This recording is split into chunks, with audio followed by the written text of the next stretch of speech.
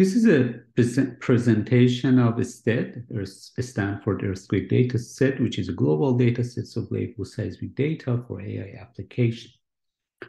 Over the past few years, there have been a sharp increase in the number of machine learning applications in earthquake seismologies that you might have seen. Most of these works and their impressive performance compared with the standard algorithm. But what was the main reason behind this, their success? Most of the machine learning algorithm and even the core concept of deep learning have been around for a few decades. What have changed in the past several years is uh, leading to those uh, initial actually seismological studies it was that we got better solution for some of the technical issues and more importantly we got more efficient computational tools plus some large data sets with high quality labels. I said these two factors played a more important role because most of these improvements were achieved empirically using the standard benchmark datasets. Supervised learning is a machine or supervised deep learning actually is machines that a machine that needs tons of data as its fuel to produce a good models. And here, both quality and quantity matter. In earthquake seismology, we have large catalogs resulted from years of works of analysts manually peaking arrival times of different seismic phases and characterizing earthquake sources based on these information. And on the other hand, we have massive archives of seismic waveforms.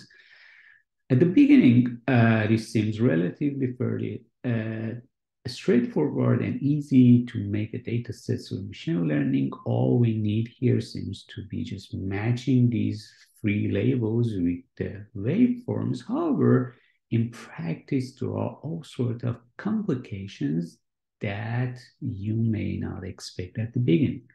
For instance, sometimes because of errors in timing or catalogs, you might not find events that you are looking for on the waveform based on catalog information. On the other hand, you can find many other earthquake that you did not expect them. And moreover, handpicks parameters like arrival times do not means that they are always 100% accurate. And after all, our catalogs are complete to a certain magnitude and many more of smaller earthquake exist in continuous waveforms that can introduce significant errors into our labeling. So you have to come up with a kind of QC mechanism to identify each of these cases and account for them during developments of a labeled data set that makes the process a bit more challenging than what it might look like at the beginning. With this introduction on some of the existing challenges, now let's see how a STEAD has been built. We first built a relational database of metadata based on multiple resources. These metadata mainly include information about the recording station, recording earthquake, and some of the handpicks parameters such as P and S wave variables. Then based on these metadata, we define different classes and categories of dataset and then based on these data sets, we obtain event waveform for each category from the archive. And then we first perform some pre-processing on the waveform to make them uniform. And then we use different techniques, including deep learning, to check the quality of some of these labels provided by the catalogs and identify problematic cases like those that I showed you in the previous slide.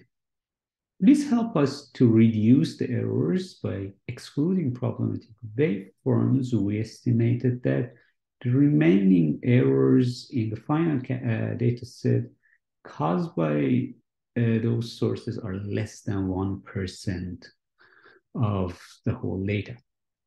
For the other labels, like a, like earthquake location, estimated magnitude, that is hard to check their quality. We provided the estimated errors whenever they were reported by our resources. And then in the last step, we calculated and added some new additional labels uh, as listed here.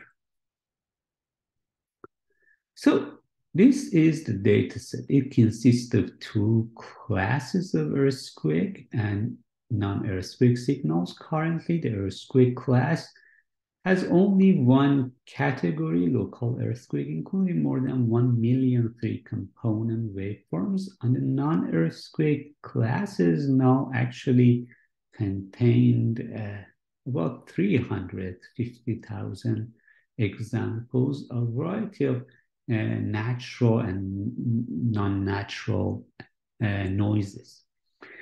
These are two samples from each category. Uh, three component waveforms, each one minute line waveforms are provided as NumPy array. They are there are 35 labels or attributes associated with each earthquakes, samples, uh, each earthquake samples, and eight associated with each uh, basically noise samples. Uh, the structure of the data set has been designed in a compact form. So the total uh, data set is around 80 gigabytes. So you can easily uh, select a portion of the data set based on these criteria.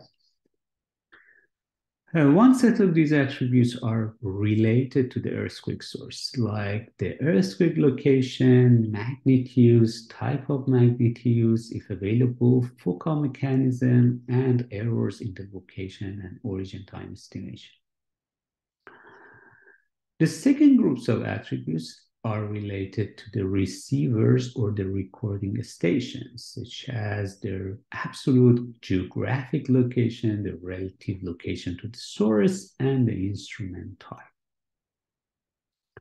And the remaining attributes are related to the waveforms, such as P and S wave arrival time, how these uh, arrival times have been peaked, a rough estimation of the end of the coda, and the signal to noise ratio for each component. But what you can do with this data, you can use it to build your models for several tasks like these ones and beyond these. Uh, these are two recent, uh, uh, two actually studies that use these data sets, uh, or you can use it for benchmark as a benchmark uh, data set to test and compare existing models. So this is the current data set. Uh, we plan to expand this data set in the future. And this is the rough plan. We welcome any recommendation, suggestion, or contribution. So I leave here uh, with this last slide. Thank you so much.